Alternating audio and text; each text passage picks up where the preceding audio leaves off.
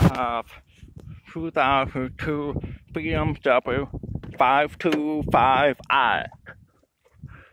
So, automatic with a five-speed slap shift.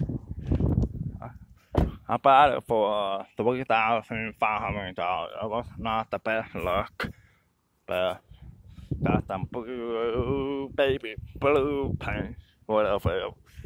And what the hell happened? Trying to pop the head. I have to do it like that. But it pop. So now see what I got.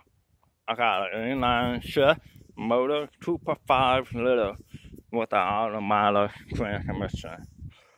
Oh, not bad.